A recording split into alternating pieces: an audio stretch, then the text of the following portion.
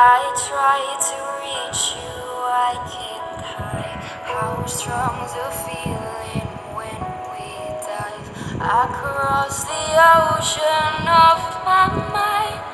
My wounds are healing with the soul.